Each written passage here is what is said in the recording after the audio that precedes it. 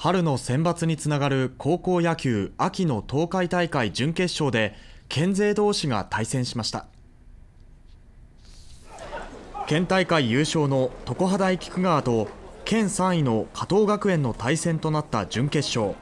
1回菊川の3番岩崎がこの一振り。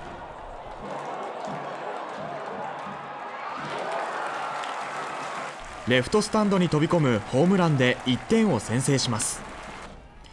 菊川は3回にもツーアウト2塁のチャンスを作ると2番鈴木ライアがレフト前へ。ホームクロスプレーはセーフ。追加点を挙げます。